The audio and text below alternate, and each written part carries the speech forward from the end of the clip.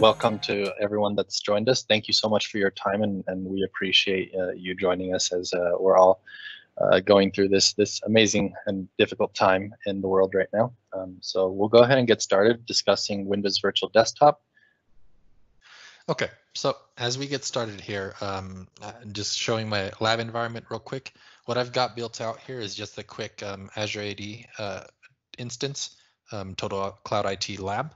Uh, and then just a simple subscription. There's nothing in uh, either the Azure AD or the subscription yet.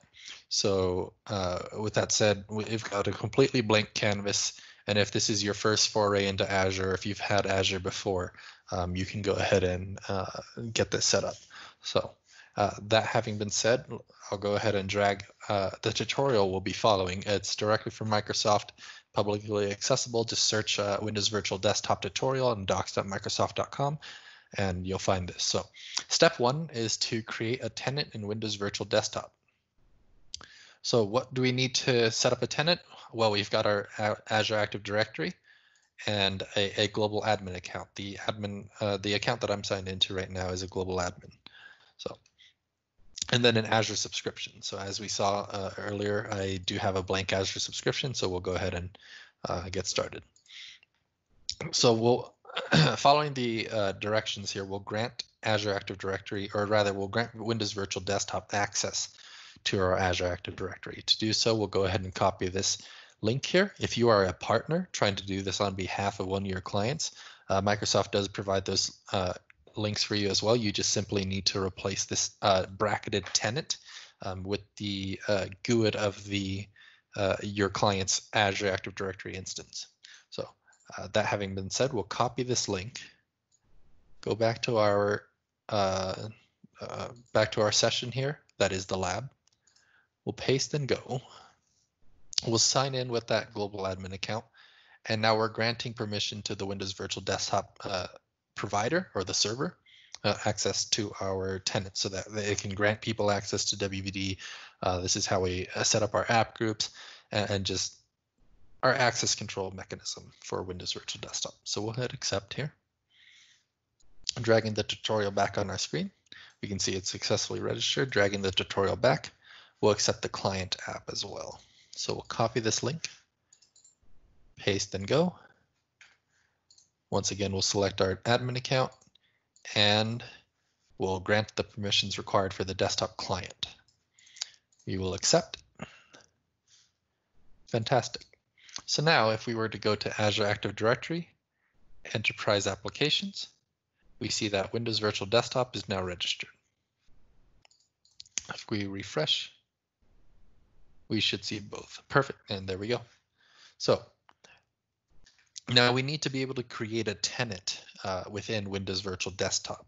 Um, and able to do so, uh, to be able to do so, we need to grant ourselves the tenant creator permission. Um, looking at the tutorial here. So we'll assign the tenant creator application role. Um, to do so, we'll go to users and groups under the server app. So we'll click on the server app, click on users and groups, and we'll add a user. We'll select myself, at least myself in the lab. And you can see here the only role that's available to assign is tenant creator. So we'll go ahead and assign. Okay, so now I have the default access um, from accepting the app into our Azure AD and a tenant creator.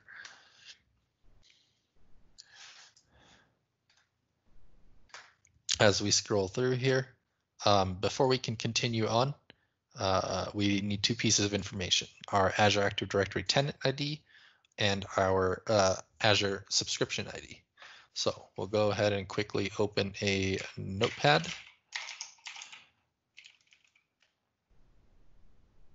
We'll zoom in a bit here so it's easier to see. Azure AD, uh, GUID, and subscription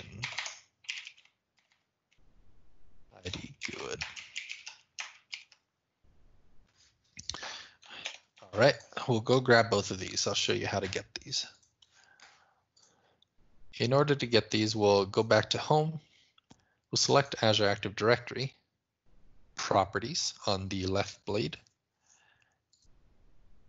And we will select the directory ID here. We'll click this blue button. It copies our directory ID. And we'll paste it right here. Full screen this. And then we'll grab our subscription ID. So we'll go back, click subscriptions,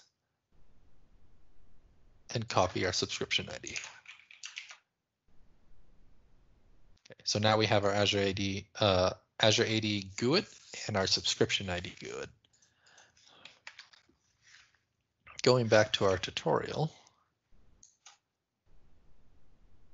uh, the tutorial also walks you through um, the exact places where you need to grab the uh, subscription and uh, uh Azure AD.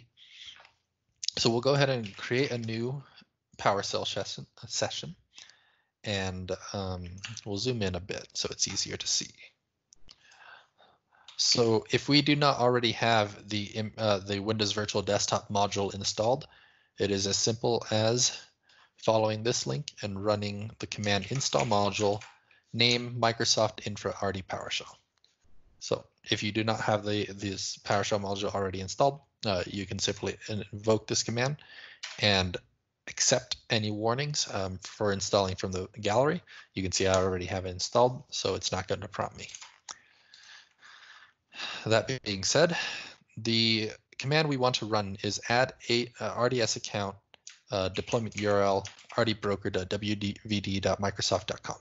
So this is the default uh, Windows Virtual Desktop um, deployment URL that we'll be using to, to manage um, it, it, says deployment URL, but we use this as well for managing and uh, and and looking at connection errors and etc. So we'll go ahead and hit enter. This will pop up a login prompt. So I will go ahead and do my login. So at tcitlab.onmicrosoft.com.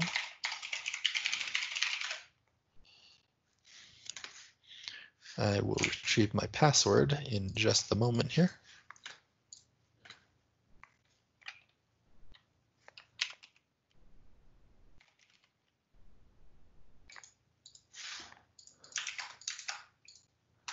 We'll sign in, and there we go. We've signed into the default tenant group um, using TCIT Lab.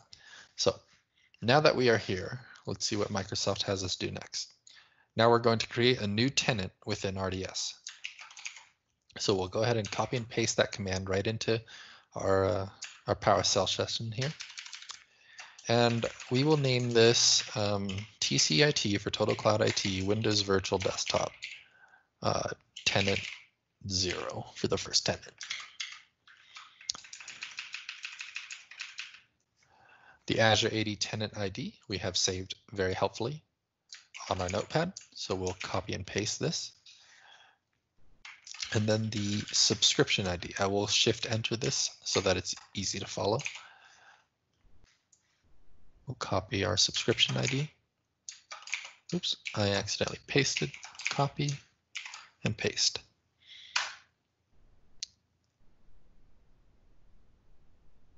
Mm, I messed up the command. I guess it did not like our shift enter here. So we'll go ahead and just control C and I'll backspace this so it sees it as one line. I'll hit enter.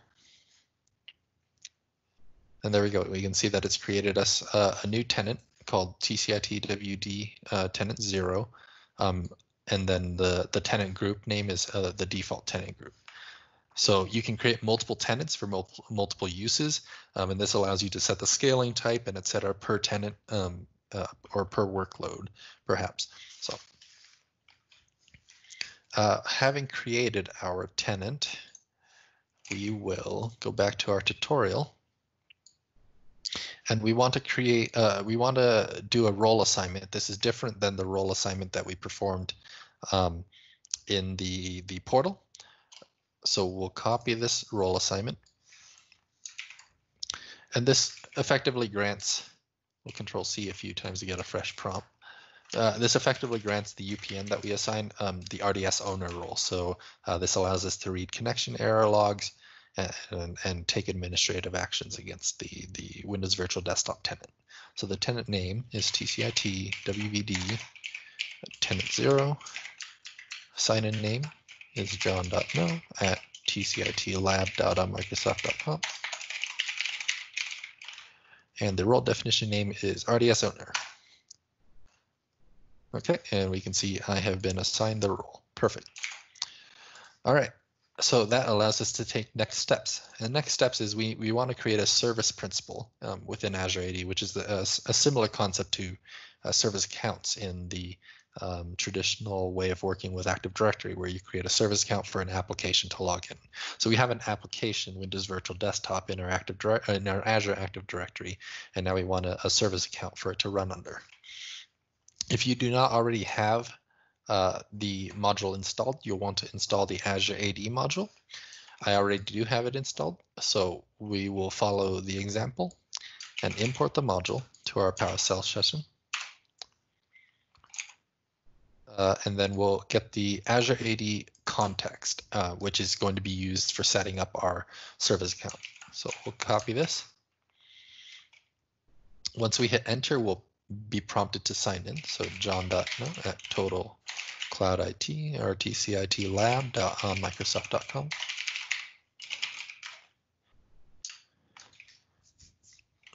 And then I will once again retrieve my password.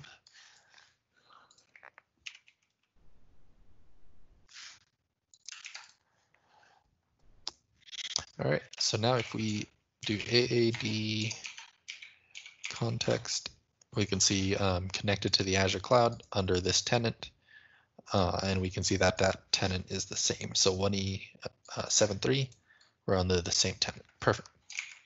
Going back to the tutorial, we'll copy this command. And what we're doing here is we're creating a new Azure AD app registration or, or application. Um, and we're making it available to the Windows Virtual Desktop tenant. And then we're just setting a, a display name. So we'll go ahead and copy this whole line. And I like uh, what uh, Microsoft has already presented to us, so I'll simply hit enter. And now we need to generate a, a, a unique password um, for this application. So um, here, the service principal creds is going to be simply a new Azure AD application password credential.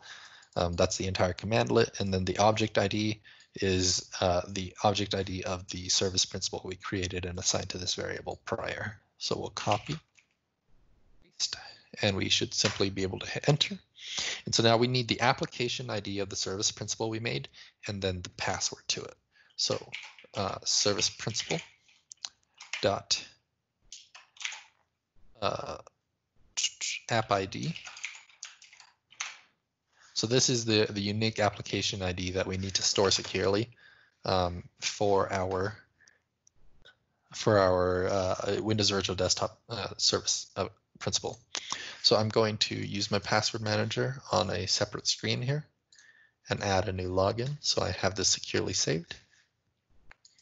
So this is TCIT lab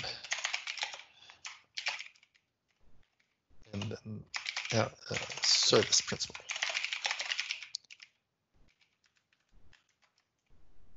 These service principals are created with a, a very um, constrained set of permissions. So usually when you set them up, they're for a specific purpose. Um, and I can also show you in the portal as well where you'll find it. So we'll copy this, paste it into my manager, and then likewise service principal creds value. This allows us to extract the value of that password we created. So we'll copy this, save it, and now we've got this securely saved. So this is similar to an app password if you're familiar with uh, Microsoft's multi-factor authentication app passwords. Uh, creating this uh, the first time after you lose this uh, variable, um, you cannot retrieve this again. So I, will typically save this somewhere. So with that said, we will revisit the tutorial. So what I uh, skipped over a little bit is um, we can retrieve our tenant ID uh, from uh, PowerShell uh, with our Azure AD context, or uh, because I already have it saved in a OneNote, I didn't, or in my notepad, I did not really go over that. Um, but simply Microsoft is saying for the password, it's service principal creds.value because the creds variable is where we assign the password uh, or the credential. And then the app ID is on the service principal itself that we created. So creating a new role assignment in Windows Virtual Desktop. So now we're going to do the same thing and assign this new service principal, uh, the, the RDS owner as well, so that it can take administrative action um, during the deployment of a host pool or a, a, a set of session hosts within Azure. So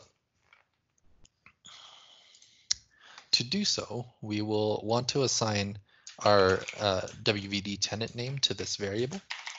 It's not necessary to use the variable, but uh, we'll do it to follow Microsoft's example. So it's going to be TCIT WVD tenant zero. And then the uh, new RDS role assignment is going to assign the RDS owner role to the application ID of the service principal under the tenant name uh, TCIT WVD tenant zero. So we'll copy this command, paste it, and hit enter. And just like that, we can see uh, the role assignment ID, scope, tenant, tenant name, uh, the app ID, and the role definition. So that is complete. Now we're going to test it.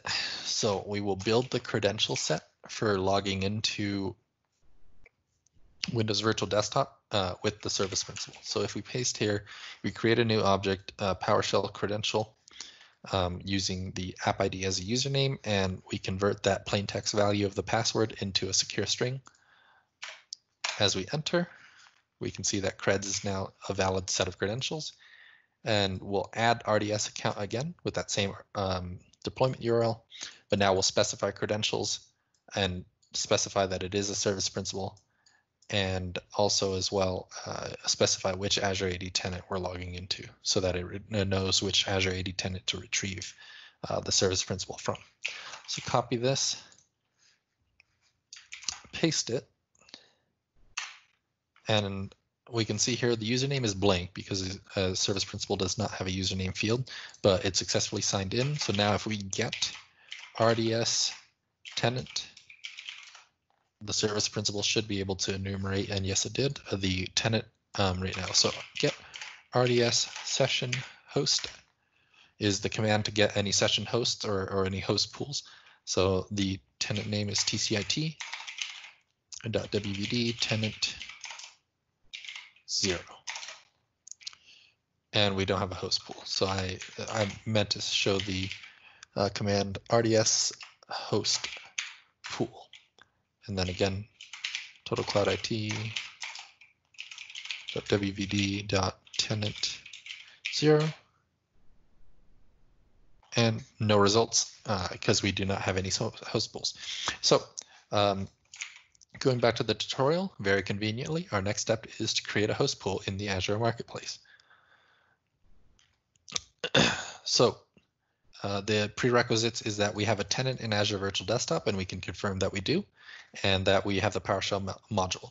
So we can sign into the Azure portal.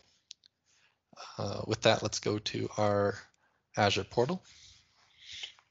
We'll start here, and we will uh, go to the home page, which we already on, and create a resource. So create a resource, and it's going to have a search for Windows virtual desktop uh, provision a host pool.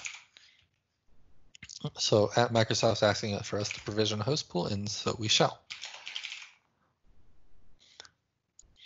We simply click create, and from here it's pretty self-explanatory, so I, I, won't be following the tutorial, but um, you'll be able to keep up with me just fine.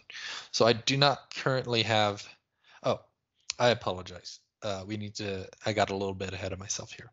Uh, we need to go ahead and deploy a, uh, uh we are going to deploy a Windows Virtual Desktop, uh, uh, an Azure AD Domain Services instance so that our Windows Virtual Desktop has a, um, has an Active Directory that it can join itself to. So before I get too far ahead of myself, we will go to Home, create a new resource, and we will search for Azure Active Directory uh, Domain Services. Okay, and on the marketplace, it shows us Azure AD Domain Services by Microsoft. We'll select this. I do not have a resource group, so uh, this is this tutorial is coming or this webinar is coming from the perspective that uh, you do not have any Azure resources at all. You don't have a presence in Azure, and and but uh, with uh, everything happening in our world right now, uh, we would like to be able to quickly spin up um, a, a, remote working environment for our users. Um, so we have Office 365 or Microsoft 365, and we're looking to uh, utilize it to um, set up a remote work scenario. So no resource groups at all in our tenant. So we'll go ahead and create a new one and we'll just simply name it Windows Virtual Desktop hyphen RG for resource group.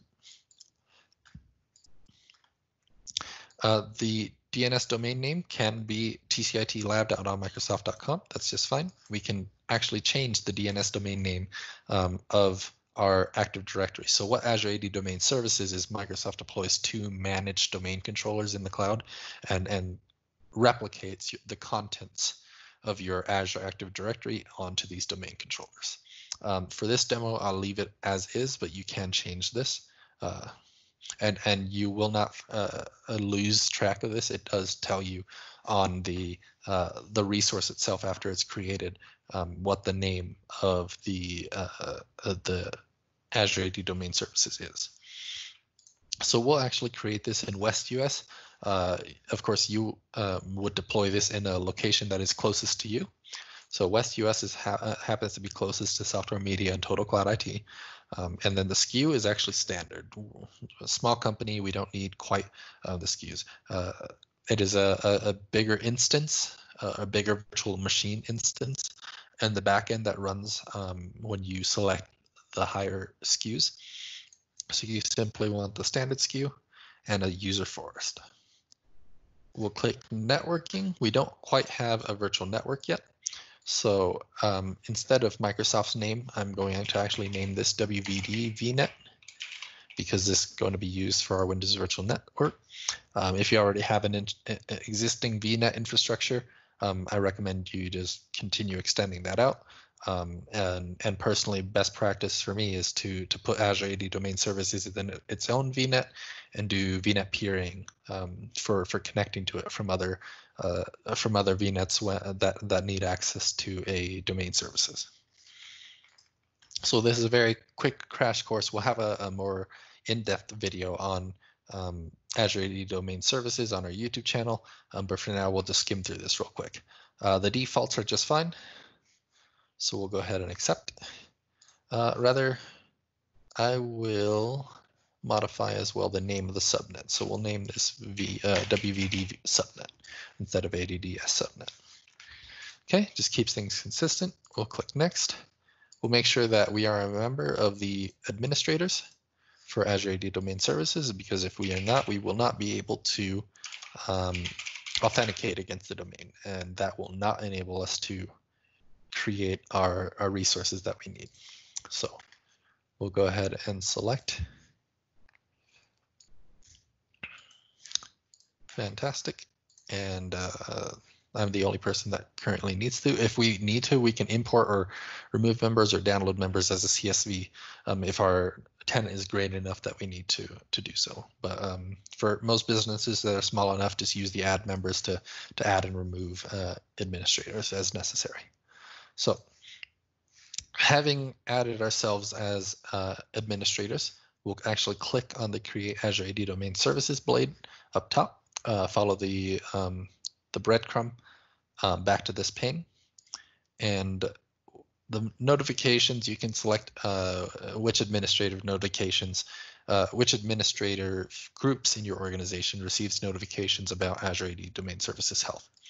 Synchronization, we'll just synchronize all um, Azure AD users and groups right now into the managed domain. Um, however, if you're large enough, you may want to select scoped uh, and, and select Azure AD groups that you want synchronized into Azure AD domain services. Um, once you select all or scoped, you cannot reconfigure this. You must delete the entire Azure AD domain services um, resource and redeploy it. So for now, we'll just leave it at all. Um, review and create. It's going to validate. And while we're waiting for it to validate, I'll point out here that uh, in deploying this service, we do consent that Azure AD can store uh, credential hashes for NTLM and Kerberos. So we'll create, we'll hit OK, and this is going to take some time. Um, so uh, we'll take a small break and uh, we'll come right back once this has deployed. All right, with the magic of editing, our uh, Azure AD Domain Services subscription or resource rather um, has now been fully deployed and running. It takes anywhere from half an hour to two hours, depending on Azure's load, um, to deploy Azure AD Domain Services one of the first things we want to make sure we do is that we update the DNS servers uh, settings for the virtual network so that instead of using Azure's built-in um, DNS, uh, we'll go ahead and set the two IP addresses of the managed domain controllers, uh, in this case 10004 and 10005, as the DNS servers for the VNet. So we'll go ahead and hit configure here, and you can see Microsoft does it for us. We will go to the subscription resource groups and our WVD resource group. And we can see in the VNet, looking under DNS servers, that we are using custom DNS servers, so that's working fantastic. Now this next step is going to be uh, resetting the password for this uh, global administrator account. Um, when we deploy Azure AD Domain Services, um, in order for password synchronization between the domain services and the Azure AD to, to take effect, we do need to reset our password. Um, uh, for all cloud only accounts, if you're doing um, an Azure AD synchronized or Azure AD connected uh, uh, domain Active Directory domain, uh, you do not need to go through the process of resetting a user's password, um, but you do need to uh, make sure that password hash synchronization is enabled in your Azure AD Connect configuration. So that said, we'll view my account um, for this tenant so that we can reset the password. So um, change the password. I will um, grab the old password one moment.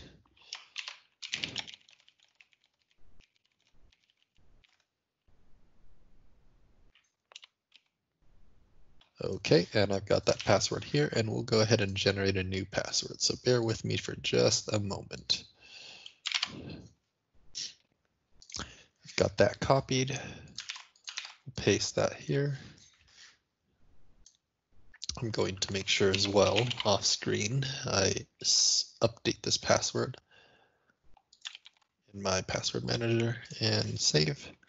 Fantastic. And we'll just say Edge does not need to remember the password for us. So uh, having reset our password, um, we will give it roughly a couple minutes to synchronize our password, which which uh, gives us plenty of time um, to go ahead and start looking at deploying the uh, the uh, the session host pool.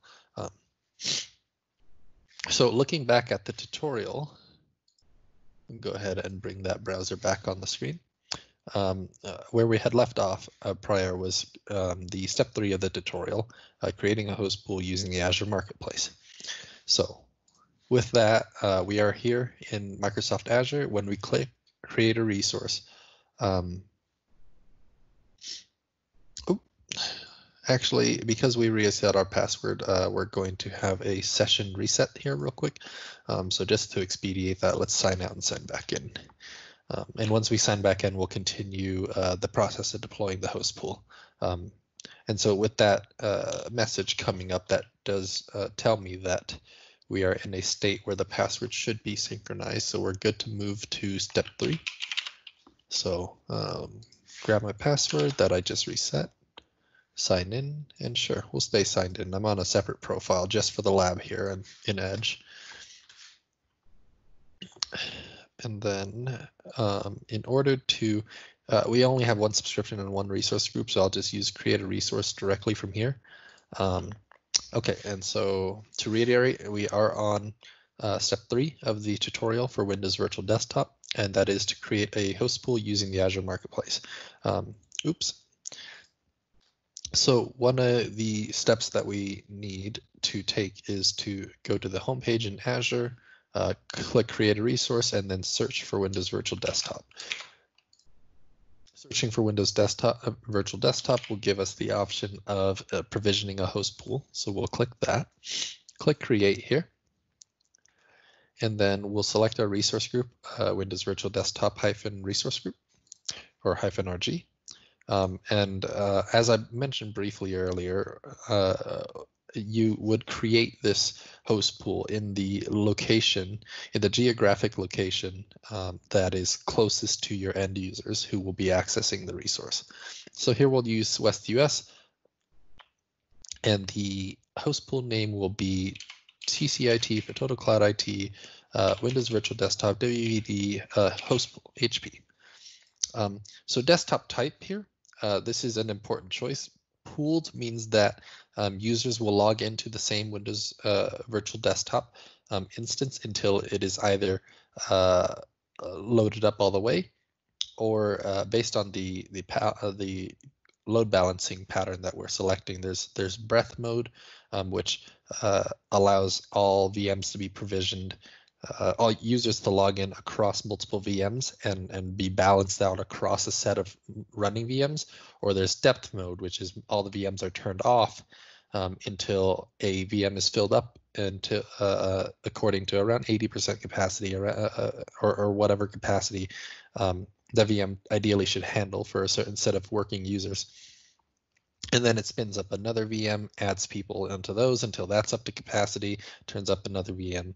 Um, so depth mode is very uh, cost conscientious um, versus uh, breadth mode being very uh, user experience and, and user um, logon speed ex uh, expedience. So uh, with personal, the desktop type, uh, you generate a VM per user that is going to be accessing Windows Virtual Desktop. For example, if you're deploying the solution for 10 users, you're going to have 10 VMs. They're going to be sized modestly for those 10 users. Um, but uh, so for, for that kind of workload where you want people to be isolated from each other, um, you're going to be selecting personal. So we'll select pooled. Um, and uh, this default desktop users is uh, when you create a host pool, it by default generates a, an application group of desktop type instead of application. Uh, Windows Virtual Desktop is capable of hosting remote apps, um, very much like uh, RDS um, does, or it can host uh, remote desktops. Um, and a a host pool can only be either remote desktop or remote app. So um, for this, we'll we'll do default desktop users. That's going to be myself tcitlab.onmicrosoft.com.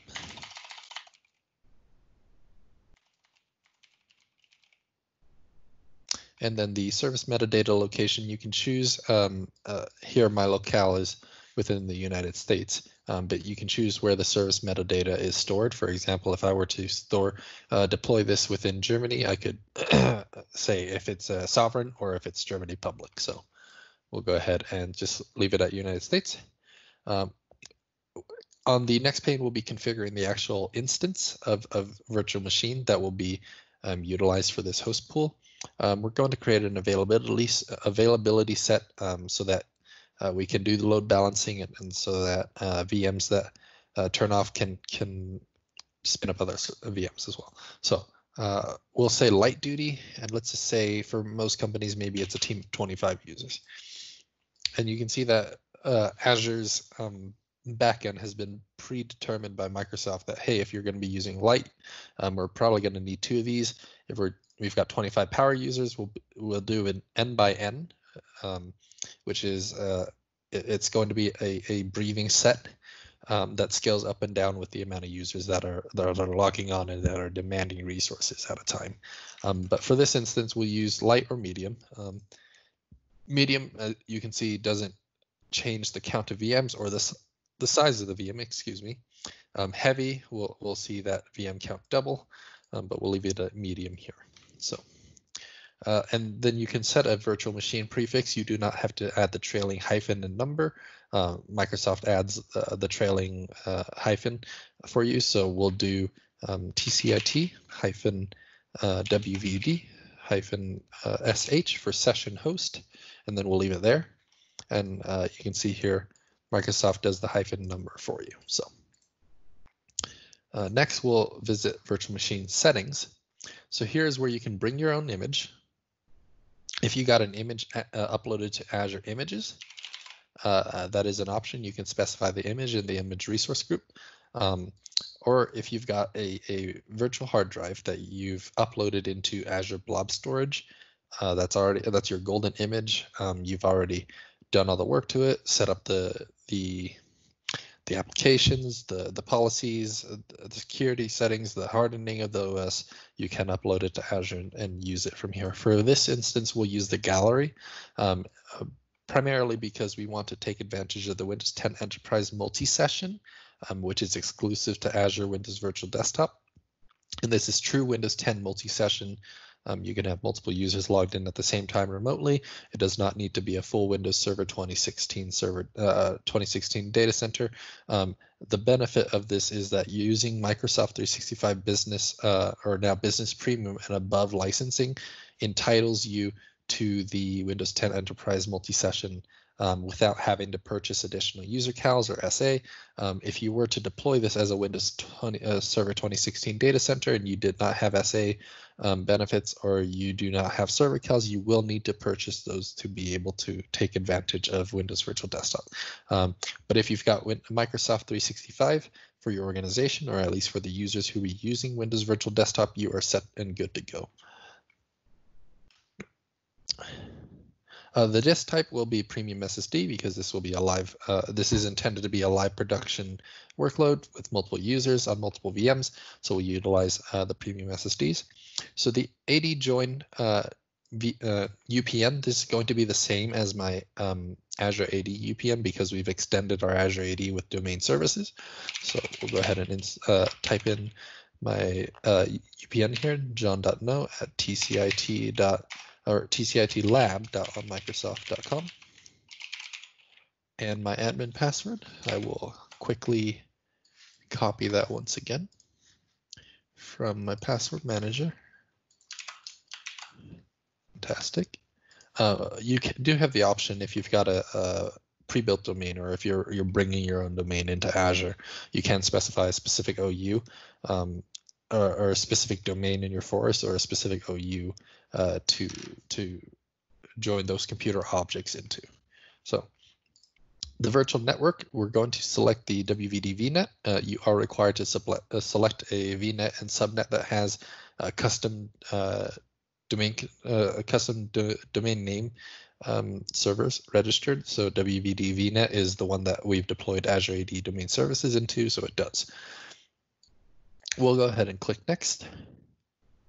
And uh, the default tenant group is correct um, because we did not create a new tenant group. The tenant name that we set is, um, as we see here earlier, is the TCIT WVD tenant zero. So thank you, but no thank you, Edge. Uh, that's our tenant name. And we're not going to be authenticating with UPN. That is an option. Um, but the UPN, uh, if you're going to use UPN, that user must not have multi-factor enabled either through um, the uh, Office 365 um, multi-factor or through Microsoft 365 or Azure AD Premium um, conditional access policies.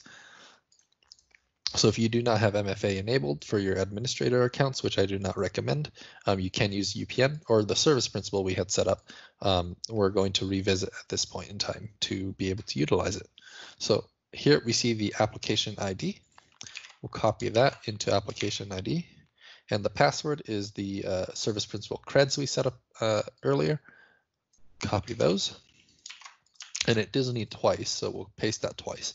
And then the Azure AD tenant ID. We'll grab that from our notepad. This is our Azure AD tenant ID. We'll copy and paste. All green across the board. Let's go ahead and review.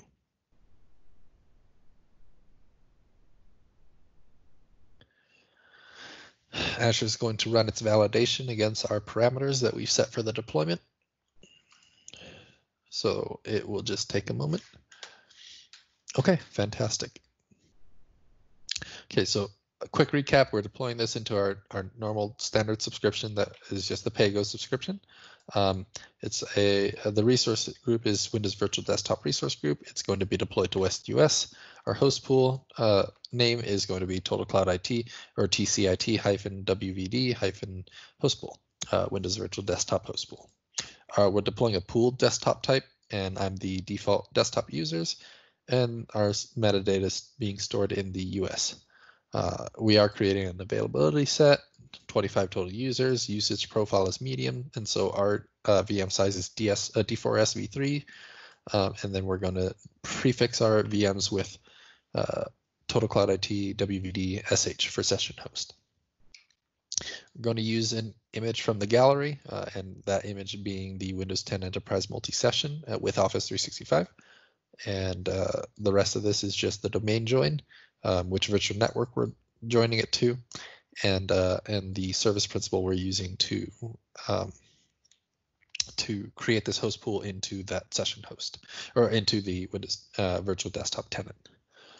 So we will go ahead and click create, and this will take some time. So I will see you after deployment concludes.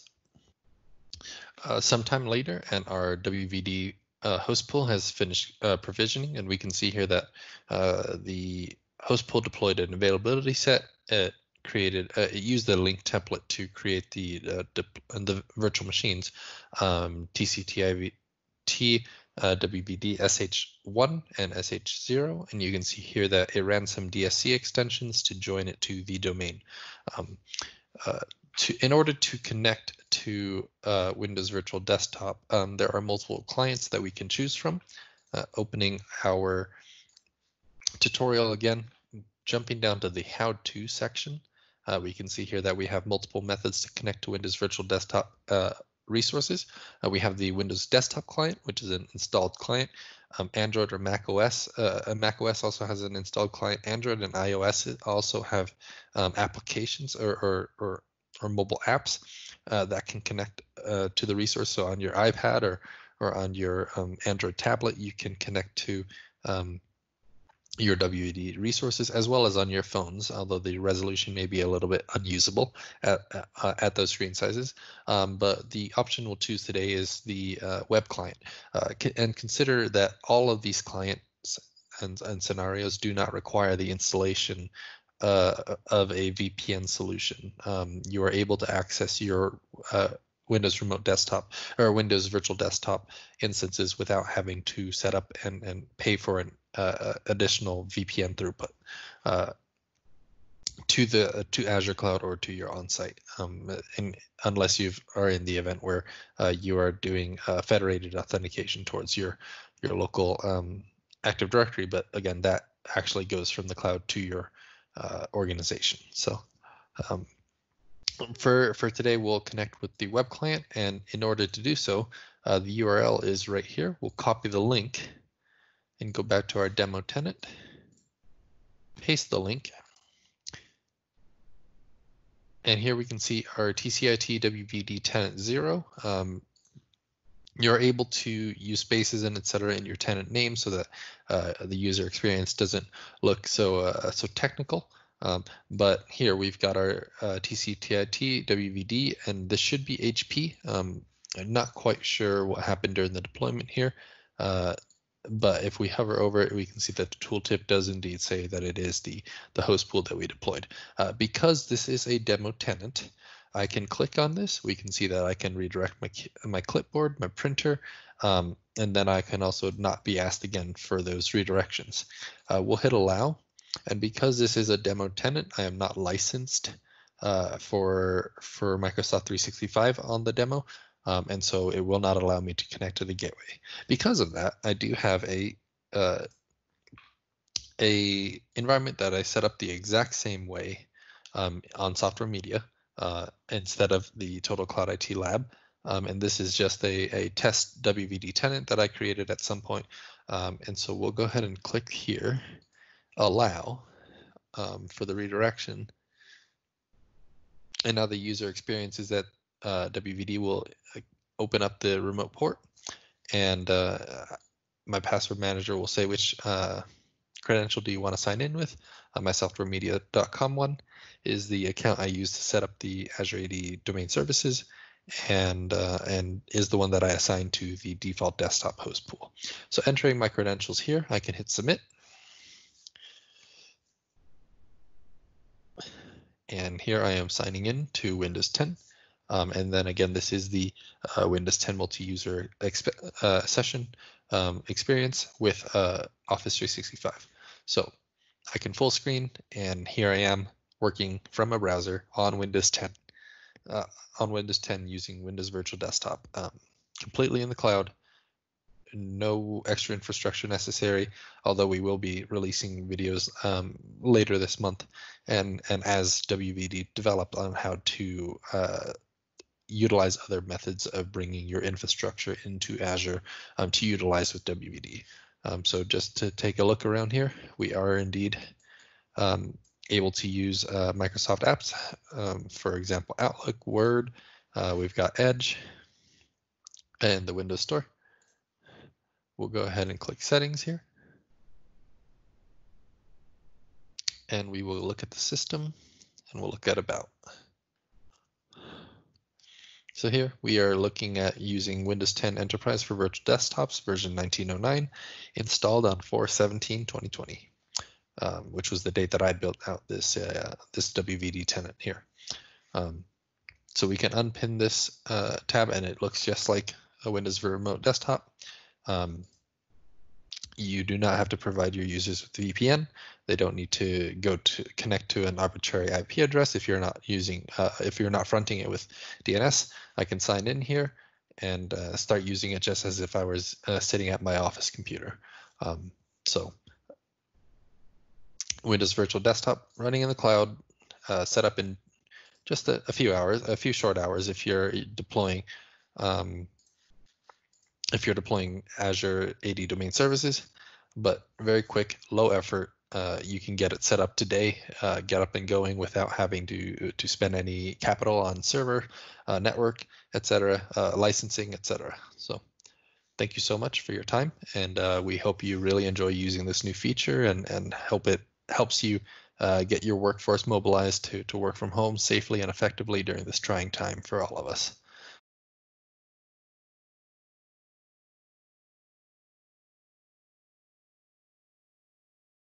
So thank you so much for your time and uh, enjoy utilizing Windows Virtual Desktop going forward.